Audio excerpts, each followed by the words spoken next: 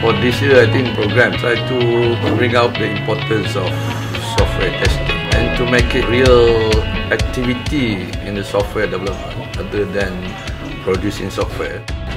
The test test design competition is very good chance to get high skill to design, test architecture and so on.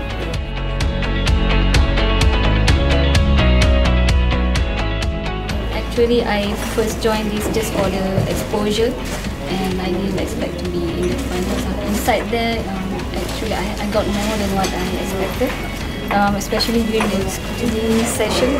Uh, so during the preliminary, they gave me input and um, I use that to improve and I can use that knowledge now uh, in my day job. So it's very beneficial.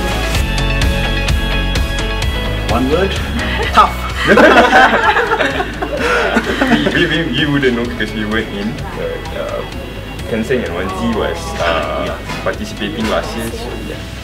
I, I think I guess um, last year was the first time um, MSTB had this design competition, so everyone was new, everyone was also exploring. So, but this year we know what we need to find out and what we need to attack on. That's, I think that's where we kind of like putting in additional stuff in. But uh, whether or not we win it, we'll know later.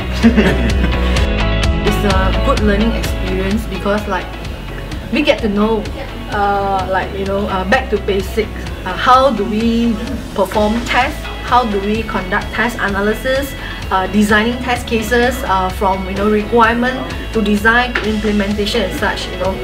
This is really a good platform and avenue for like getting the industrial player to join to contribute as well as to publicize you know.